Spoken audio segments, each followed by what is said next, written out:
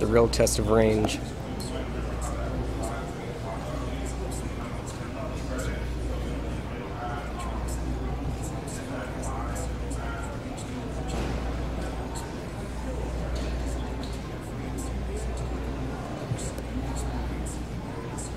Damn.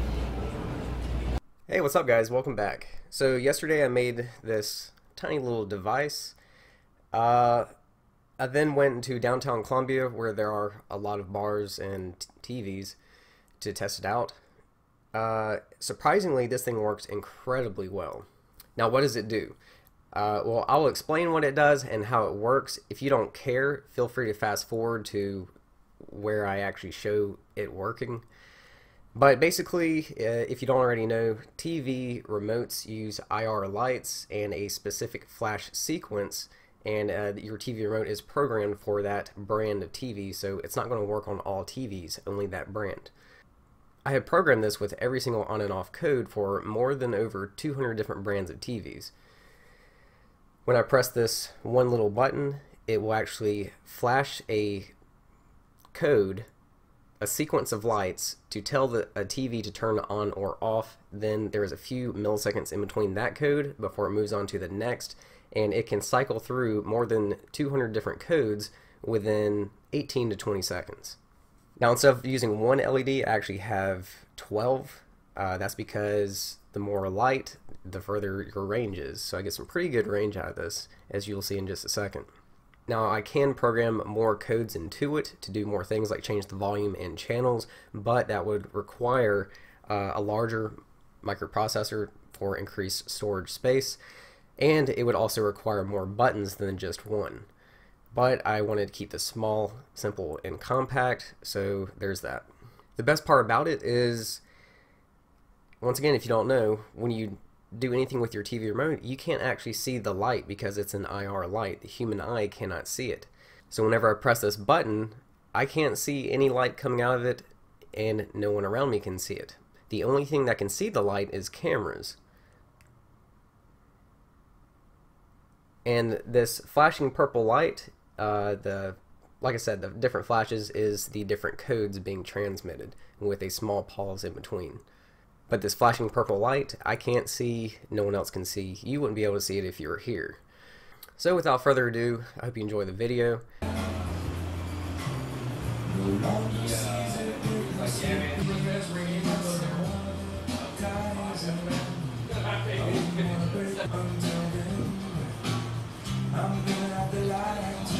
He just turned it on.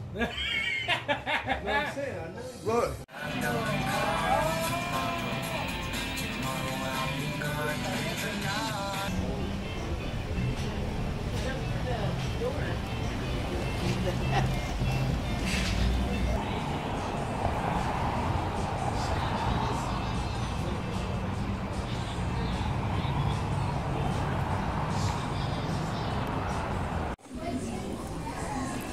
Check this out.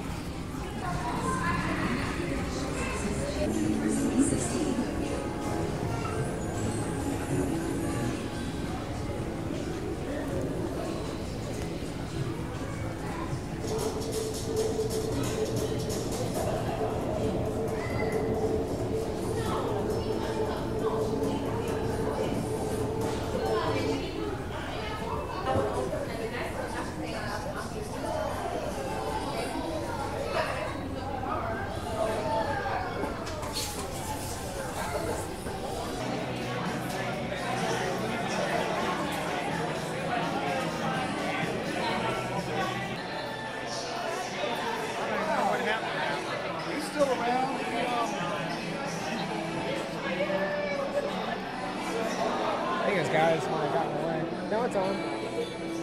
I. Yep, it's on.